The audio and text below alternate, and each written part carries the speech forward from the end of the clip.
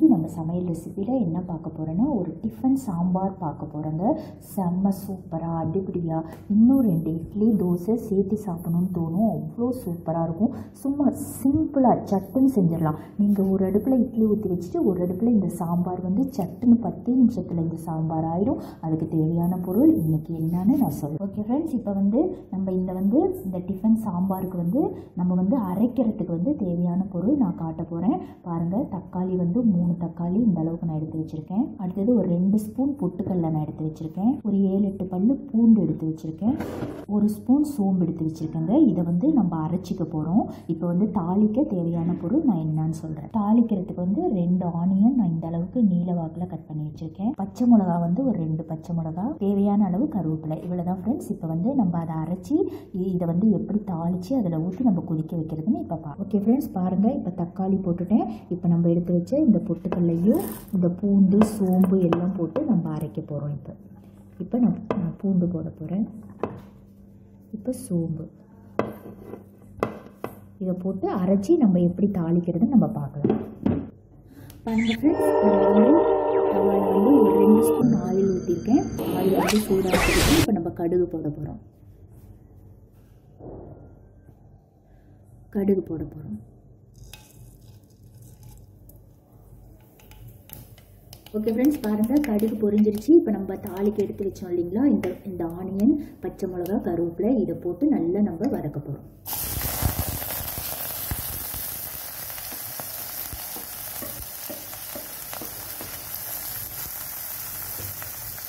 தேவையான அளவு உப்பு போட்டுக்கலாம்.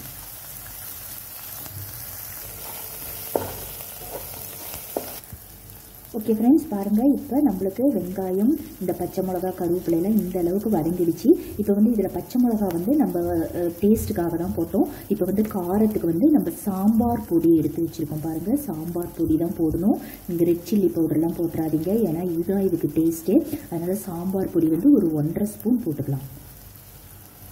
போட்டுட்டு இது இந்த எ- எண்ணெயிலேயே வந்து நல்லா இதை வந்து இப்படி வறுத்துருங்க. இந்த இந்த இந்த சாம்பார் பொடியை. இப்போ வந்து நம்ம அரைச்சி வச்சுருக்கோம் இல்லைங்களா? தக்காளி பூண்டு சோம்பு பொட்டுக்கல்ல எல்லாம் பாருங்க இந்த அளவுக்கு நம்ம இதை அரைச்சி வச்சுருக்கோம். தக்காளி சோம்பு பொட்டுக்கல்ல பூண்டு அரைச்சி வச்சுருக்கோம். இதை வந்து இப்போ இதில் ஊற்றிட போகிறோம்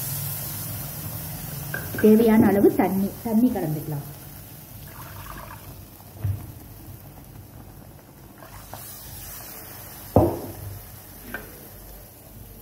அவ்வளோதான் ஃப்ரெண்ட்ஸ் இது வந்து நல்லா கொதித்து இந்த பச்சை வாசம் போனதுக்கப்புறம் இறக்கிடலாம். செம்ம சூப்பராக அடிபடியான நம்மளுக்கு டிஃபன் சாம்பார் ரெடி ஆகிடும் பாருங்கள் ஃப்ரெண்ட்ஸ் இப்போ வந்து நம்மளுக்கு டிஃபன் சாம்பார் வந்து ரெடி ஆகிடுச்சு இப்போ வந்து கடைசியாக நம்ம கொத்தமல்லி தலை போட்டுடலாம். நீங்களும் உங்கள் வீட்டில் ட்ரை பண்ணி பாருங்கள் செம்ம அடிப்படியாக இருக்கும். டிஃபனுக்கு இதே மாதிரி தான் ஒன் டைம் செஞ்சிங்கன்னா அடிக்கடி இந்த சாம்பார் செய்வீங்க. ரொம்ப சிம்பிளாக சூப்பரான சாம்பார் இது. உங்கள் வீட்டில் ட்ரை பண்ணி பாருங்கள் அவ்வளோதான் இப்போ வந்து நம்மளுக்கு ரெடி ஆகிடுச்சு நீங்களும் உங்கள் வீட்டில் ட்ரை பண்ணி பாருங்கள் ஃப்ரெண்ட்ஸ் இந்த வீடியோ உங்களுக்கு பிடிச்சிருந்தா சப்ஸ்கிரைப் பண்ணுங்கள் நன்றி வணக்கம்.